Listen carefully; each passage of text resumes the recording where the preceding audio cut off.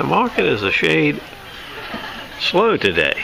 The pizza man's not here, the bakery lady's not here, but the vegetables are going good in both locations. I don't know about the bread and the chicken pot pie lady. I've had uh, one pocket knife, a big rigger's knife, uh, five Henckels, and one little Cutco.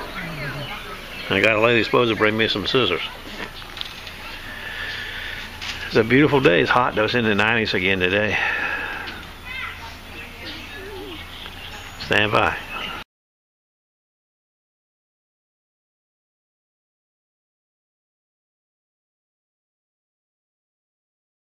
We're back here, Got a nice shun uh, from a customer. Where next week?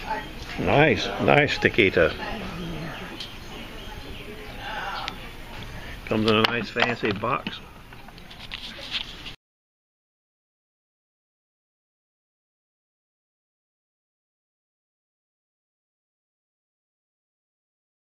Well, back home from the gig.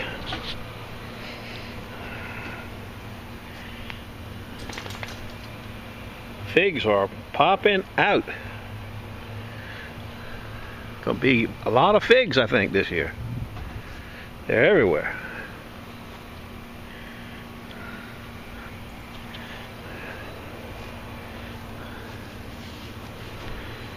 Where the hell he go to?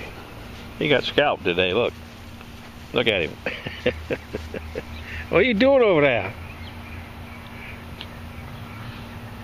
His winter fur is coming out with a brush. That is.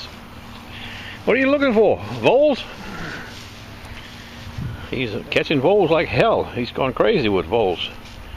He never hunted voles before. I think Hank was over here the other day. Must have taught him how to dig for them. I found two or three dead ones in the yard. We got some. You can see their trails right here. Look at them. Moles. Look at them. God, I hate them. But he can dig them up now. The hunter. Whew, God, it's hot. I just talked to the guru. He can't find a parking place. He's going on the bay. Coming over here in a second to park.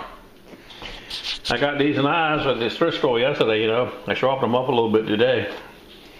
I'm going to stick them on eBay in a minute, sell them as a three a set of three. That's about it. I'm to go get in the recliner and rest a little bit.